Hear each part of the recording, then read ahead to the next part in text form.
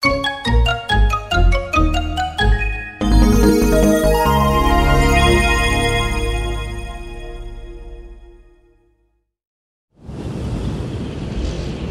金色に光る砂漠の砂が届く。辺境の町その隣にそびえる魔物の塔。この巨大な古代遺跡にはその名が示す通り幾多の魔物がうごめいている。決して楽ではない旅路にもかかわらずトレジャーハンターたちはこぞってこの町を訪れた。魔物が集めた宝そして何よりもこの塔でしか見ることのできない珍しい魔物の卵を求めて。魔物は卵から育てれば人に懐く。魔物の卵や人に慣れた魔物は良い値で取引される。